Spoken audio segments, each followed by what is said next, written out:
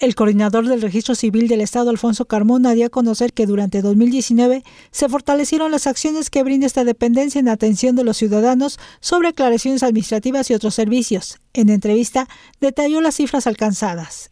Tenemos una cantidad de nacimientos debidamente registrados ya de 21.959 personas que ya se registraron aquí, aquí en, la, en el registro civil.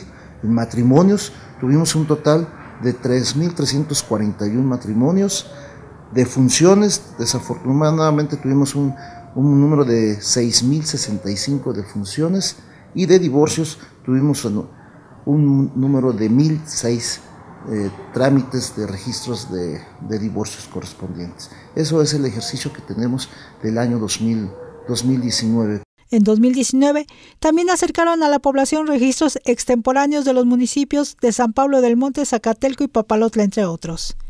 Directamente la coordinación y el área del registro, de registros extemporáneos iban precisamente a los municipios para poder, y se hizo una campaña de difusión muy amplia para que la persona que de una u otra forma no estaba, no estaba registrada, pues en ese caso, y que tiene que venir aquí a la coordinación, pues en ese caso precisamente este, acudíamos para que allá en su municipio se hicieran todos los trámites.